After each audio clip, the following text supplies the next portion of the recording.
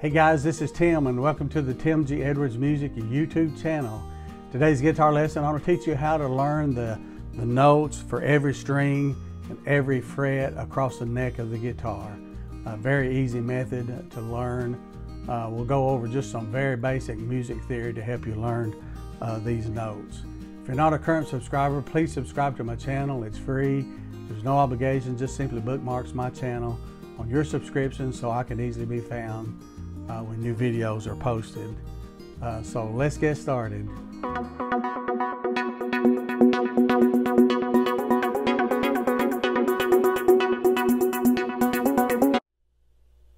Okay, to review a little bit of music theory, uh, the musical alphabet, there are seven notes, seven primary notes. Uh, these are A, B, C, D, E, F, G and then it starts back over again A, B, C, D, E, F, G. Those uh, seven primary notes. So if we relate these uh, seven notes to the piano keys, uh, they would represent the white keys on the piano. So if we start with uh, C, uh, you would just go in alphabetical order C, D, E, F, G, A, B, and then it starts with C again C, D, E, F, G, a, B, and then it, will just continue uh, to go up the, the uh, keys of the piano. And the black keys, there are five black keys. If you notice, there's a set of two, and then there's a set of three. And the black keys represent sharps and flats. So the first black key, you'll notice it's C sharp or D flat. Uh, so if you're going up on the uh, the notes, then if you're going from a C to the black key, it would be a C sharp. If you're on a D and you're going down, it would be a D flat. So depending on which direction that you're going, up up the uh, scale or down the scale, would uh, dictate if you use a sharp or a flat on those notes. So for example, if we're going up, it'd be C, then C sharp, then back down to D, and then the black key D sharp, and then E, and then F, and then F sharp, G, G sharp, A, and A sharp, B. And if you notice, E, F, and B and C are side by side. There's no black notes uh, dividing these uh, two notes. So that is very, very important to, to remember. Uh, so there's no half steps, sharps or flats between E and F and the notes B and C. So it's important that you uh, remember those. So if you notice those seven white keys and five black keys will add up to 12 notes. So that's the total notes, uh, including whole notes and then sharps and flats in the musical alphabet that you'll ever use. Uh, and then on the keyboard, it just simply repeats. Those 12 notes repeats, and those are called octaves. And on a piano, there are 88 keys in all uh, that represents seven and a quarter uh, octaves across the keyboard. So once you learn those set of 12 notes on a keyboard or piano, then they just simply repeat uh, up, up an octave or two or down an octave or two. And again, it's important to remember that there's no spaces or black notes between the keys B, C, and E and F, okay? Okay, step one in learning the uh, notes of the, of the guitar across the frets and each open string. Uh, start first by memorizing uh, the open string tones uh, first, starting with the top bass string, which is an E, and then the second string down is A, and then D, G, B, and E. So remember those six uh, note names. Uh, one way to help you remember those is just remember uh, elephants and donkeys grow big ears. So the first letter of each of one of those words may help you remember. Elephants, E, and A, D, donkeys, G, grow, B, big, E ears. Okay, very interested. Uh, another way to learn it is Eddie ate dynamite. Goodbye, Eddie. Uh, that may help you uh, remember the notes. Uh, then, lastly, every angry dog growls and bites eventually. Uh, so, these may help you learn what each of the open strings notes are. Uh, and then, once you've got these memorized, then you'll you'll probably forget about these interesting and funny sayings on that. So, so again, if you remember those 12 musical notes, A, B, C, D, E, F, G, including all the sharps and flats, uh, just keep that in mind. On the guitar, each individual fret is a semitone apart or half a step. So uh, each fret are half steps, okay, or, or semitones there. Uh, so they're half a step apart. When you move a note up two frets, it forms a whole note or a tone. These would represent whole notes, and step down would actually probably represent a sharp or a flat. Okay, so except where B, C, and E and F meet side by side uh, in order to determine A, uh, B, and a C to a D you would uh, you would skip every other fret uh, to make the whole note. Okay, step two, uh, let's look at the E string or string number six. Let's start by identifying the whole notes of the E string, uh, number six, mainly on the dots or frets. So the open note is E, and, and then the next fret will be F. Okay, and then go up two frets. This will be a G. So just remember E, F, G, E, F, G, up to that first dot there. E, F, G. Then what comes after G uh, is A. So go up two frets. That's an A. So E, F, G, A. And then what comes up after A is B. So go up to the next dot is a B, okay? So open is E, F, skip two, G, skip two, A, skip two, B. Now B and C are together, they're side by side, so you won't skip uh, a fret. So just go up a half a fret, that is a C, okay? So it's E, F, G, A, B, C. Okay? Now, to, to go to a D, you go up two frets. That is a D.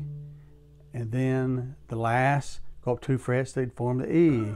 And that's where the two dots are typically on the fret. So uh, I think all guitars will have two dots uh, on your fretboard and you can see some of these fret markers up here facing you or you can see them on the face of the neck. So when you get to the 12th um, fret, that is an octave, okay? So that is an E.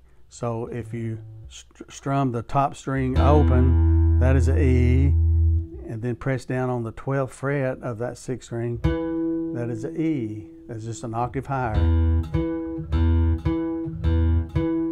Okay, so let's review uh, that again on string number six. Open is E, and there's no spaces between E and F, so it's the first fret. So it's E, F, G, A, B, B and C's together, so just go up a half a fret there. That's C, skip a fret, D, and then E okay? E, F, G, A, B, C,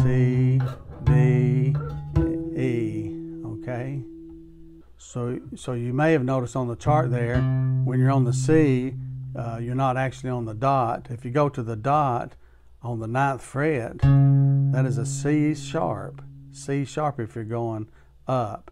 Now, if you're going down, it would be a D flat. Okay?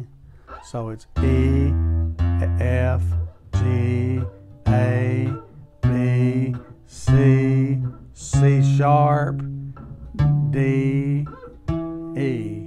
Okay? All right. It's very important that you really learn primarily the notes on the uh, sixth string because uh, uh, if you once you've identified these notes, then that'll kind of help you later on when you're playing bar chords. Okay.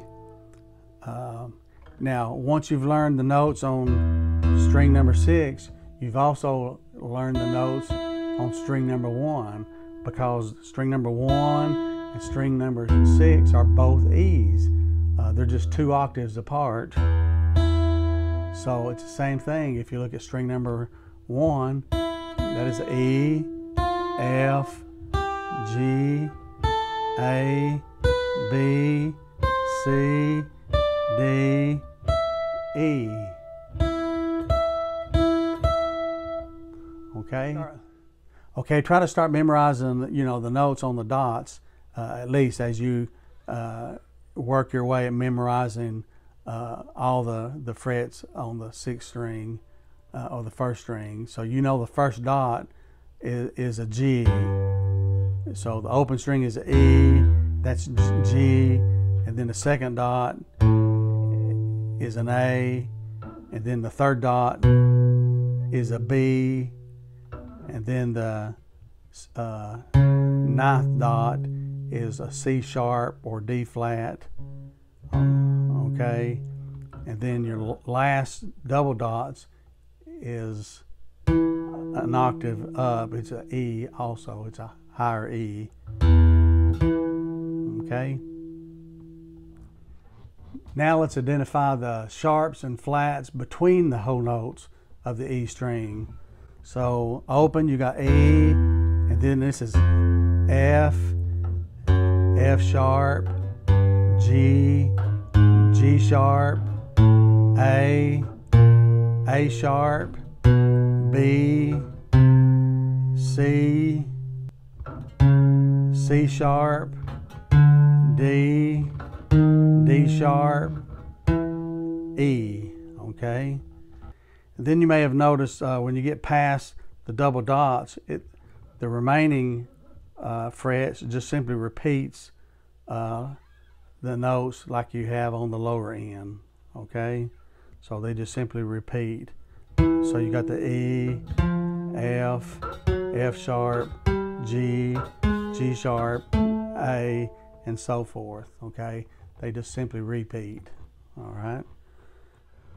So now let's identify the whole notes on each fret of the A string. Okay, this is the string number five. So if you know the open string is A, then what is the next alphabet after A? It's B.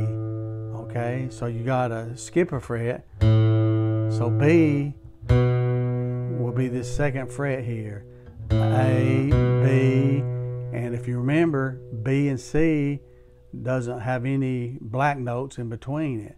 So you only go up one fret to make that whole note. So it's A, B, C, okay? A, B, C, then skip a fret, D, skip a fret, E, and then E and F is together. So you only go up uh, one fret. So that is E, F, then two notes, G, and then two notes. That is a okay? So it's A, B, C, D, E, F, G, A, okay? So now let's identify the sharps and flats on the A string between each of the whole notes. So open is A, A sharp, B, C, C sharp, D, D sharp, E, F, F sharp, G, G sharp, and then A. Okay. Now, you can identify all the notes uh, remaining by just using that same method. Okay, another method uh, to identify the remaining strings is what I call an octave method. Okay, so in other words, if you look at the diagram there, F, which is on the top string, fret number one, if you go down two strings, one, two, and go across two strings, one, two, that is a F also. That's an octave, okay? So down two strings, across two strings, those will be the same note. It's just an octave higher. So this is how you can identify that. Those are F.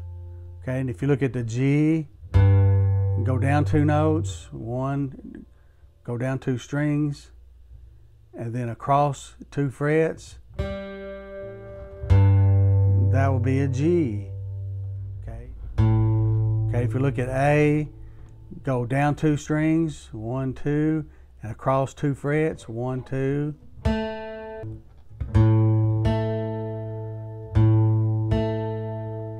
This, uh, this is also an A.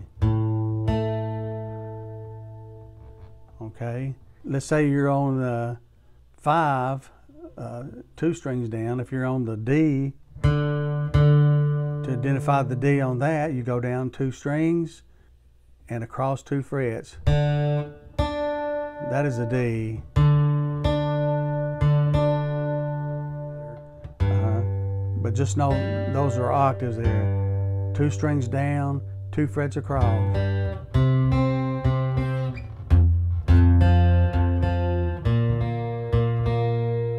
Okay. Uh, second method to identify the notes on strings number uh, one and two, you go two strings down, but instead of two frets across, you have to go three frets across to understand uh, what those notes are, okay? So if we go back to F, go two strings down, one, two, two frets across, one, two, that is an F okay? If we know this is F, you go two strings down, one, two, and instead of two frets across, you go three, one, two, three. So that's an F.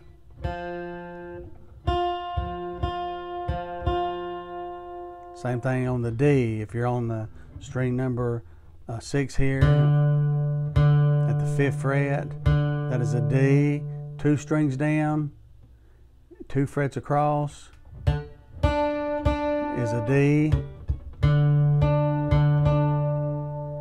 Okay, to get the next D, if you're here, go down two strings, one, two, which are on the very bottom string, and then three frets across, one, two, three. That is a D. Okay, so that's another way to identify the notes across the fretboard if you just remember those octaves. Or, or you could just simply go up the musical uh, alphabet and then plug in the sharps and flats in between the whole notes. So it's just a matter of time when you uh, identify all the notes across the fret of the guitar, uh, the whole notes including sharps and flats. So just in review, the musical alphabet is just the seven notes A, B, C, D, E, F, G, and then you have the sharps and flats in between each one of those notes, with the exception of between B and C and E and F, which there's no black notes or there's no sharps or flats between these two notes. So hopefully you enjoyed this lesson. Uh, it takes a little bit of practice, but practice uh, naming those notes out verbally that'll help you remember the, the note names. Okay, if you'd like to see more videos like this, be sure and hit the like button. If you're not a current subscriber, please subscribe to my channel. It's free. There's no obligation. Just simply bookmarks my channel on your subscription so I can easily be found and when new videos have been uploaded. Thanks for viewing today. I'd like to thank all my current subscribers as well. So have a great day. God bless you.